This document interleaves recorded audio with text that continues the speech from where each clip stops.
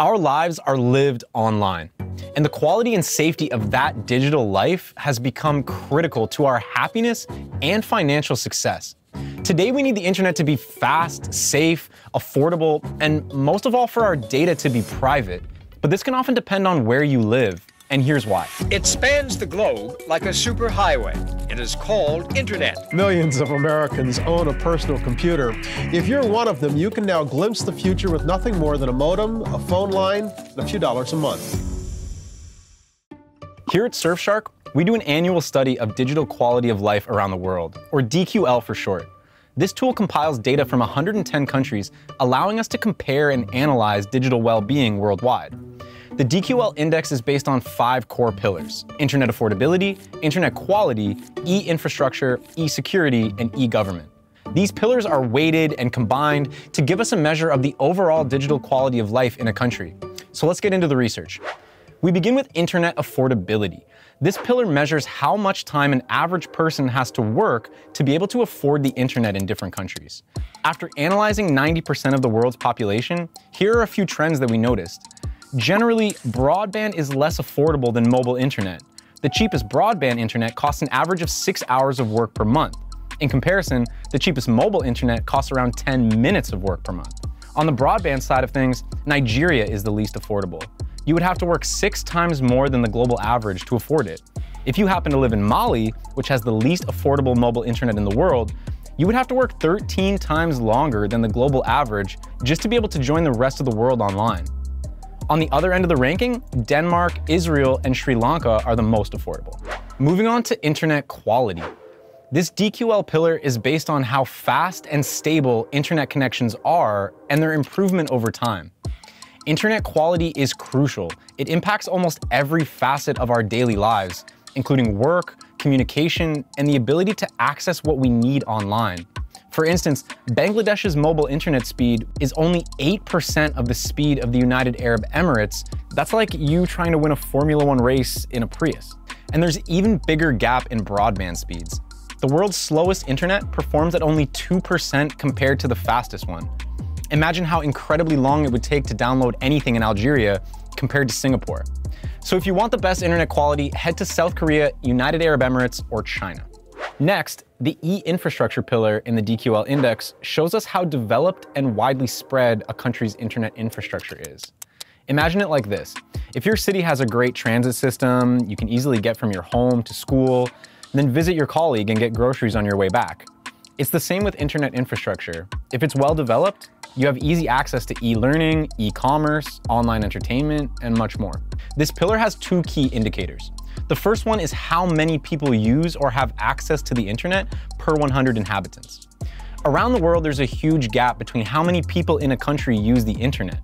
For instance, in the 12 countries at the top of our DQL ranking, more than 95% of people use the internet, but only one third of people use the internet in the 12 lowest ranked countries and this can have a massive impact on a country's economic prospects. The second indicator is the Network Readiness Index, which reveals a lot about how prepared a country's infrastructure is for extreme situations. And the COVID-19 pandemic is a perfect example of this. Countries with higher network readiness were quicker to adapt and move important operations online, including things like education, e-commerce, and healthcare. Currently, the top spots for best electronic infrastructure belong to Denmark, Sweden, and Norway. Next, the e-security pillar measures how safe and protected people are online. The main indicators here are the Global National Cybersecurity Index and data protection laws around the world. The National Cybersecurity Index measures how prepared countries are to manage cyber incidents.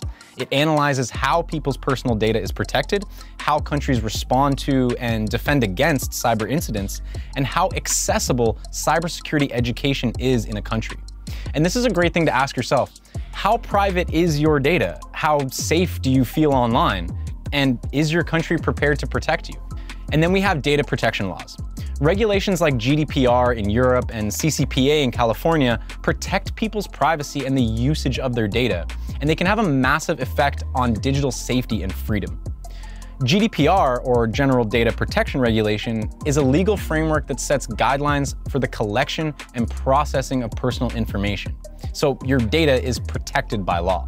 This is one of the main reasons why Europe ranks at the top of this pillar for the second year in a row. In fact, the top 13 countries in terms of e-security are all from the European Union, with the top three being Greece, the Czech Republic, and Estonia. The last pillar is e-government. This pillar determines how advanced and digitized a country's government services are. Better e-government brings more transparency to the public sector, often meaning less bureaucracy and corruption. It also makes providing access to public services much easier and more efficient. The e-government pillar consists of two indicators, the Online Service Index and the AI Readiness Index. Let's kick this off with the Online Service Index. This determines the user-friendliness of your country's electronic government services. Does filing taxes feel like university calculus? Do you need to go and wait in line for hours to get a doctor's appointment?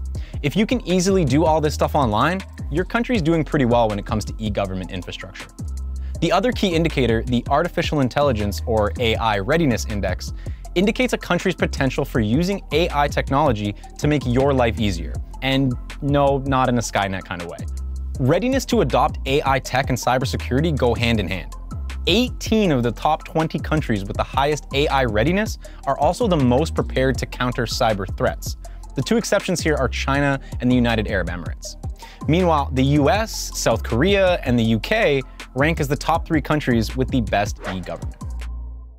What this year's DQL Index found is that e-government and e-infrastructure are actually the two most important pillars when it comes to determining someone's digital quality of life.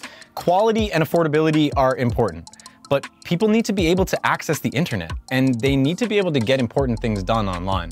One interesting but concerning trend is that broadband internet globally is less affordable than it was a year ago.